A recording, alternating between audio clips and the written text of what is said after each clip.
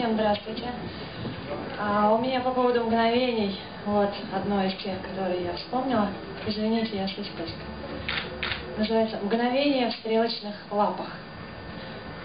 Воздух после заката остыв шелестит и полощется выглаженными камнями. Щекотливо внутри подметает, хрустит каждый высохший, выцветший колос овсяный. Гул от волн заплетается в песенном сне, распластавшись по летнему вечеру. Вскоре полмонетой пристроится селфи луне в зеркало опустевшего в сумерках моря. Макушки у кипарисов качаются в такт, словно головы горцев в злохмачных шапках. Замедляется времени вой, и тик-так застывают мгновения в стрелочных лапах.